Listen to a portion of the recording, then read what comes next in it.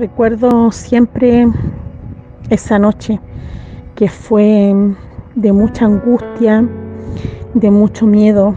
Estaba lejos de mi hijo pequeño, de mi esposo, y cuidaba a mi hijo mayor de que estaba eh, hospitalizado en pediatría.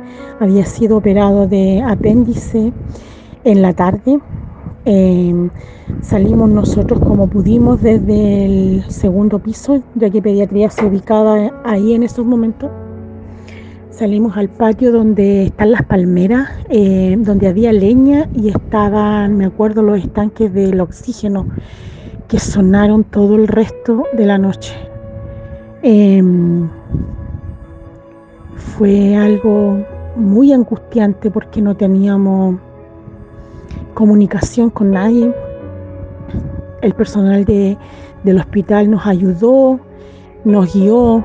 Eh, me acuerdo que el doctor eh, Patricio Lacot nos autorizó a sacar em, colchones de, las, de la sala de maternidad y ahí pudimos eh, recostar a los niños. Yo me acuerdo que estaba mi hijo, que era el que estaba recientemente operado, y habían dos niños más, que uno era camino a la costa y el otro niño era de una de las villas Esperanza, que ellos ya llevaban días. Ellos fueron dados de alta en el transcurso de la mañana.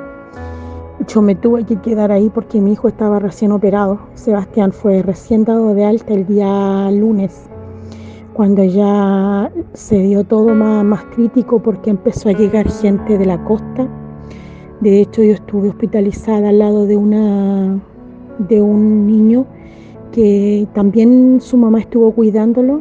Ellos fueron arrastrados por el, por el mar porque su, ellos estaban en el camping ese día. Y me acuerdo que la gente llegaba con botellas a buscar agua al hospital porque el pozo que había ahí no dejó nunca de, de funcionar. Em, fueron momentos de mucha angustia. Fuimos trasladados desde ese patio al hasta el patio del estacionamiento que está en estos momentos. Debajo de esos árboles pasamos el resto de la tarde. Me acuerdo yo que la señora Marcela, que trabaja en pediatría, la señora Blanca y la señora Claudia, me parece que se llamaba, nos acompañaron. Fueron súper empática. Nos trajeron jugo, me acuerdo, desde su casa la señora Marcela y la señora mm, Blanca. Eh, reunieron todo lo que pudieron y andaban en un carro de la, me parece que era de la ropa, y ahí andaban trayendo lo que, todo lo que pudieron recolectar.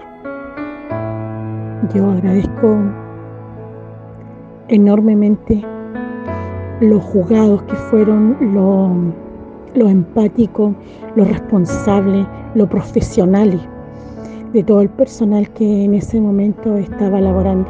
Nunca voy a olvidar la cara del doctor Moya, el doctor Patricio Lacot, el doctor Rodríguez.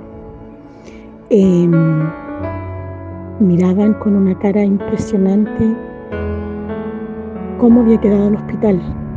Y yo creo que era un, un sinnúmero de respuestas que buscaban, porque iban a tener que enfrentar todo lo que se venía y con el hospital en esas condiciones.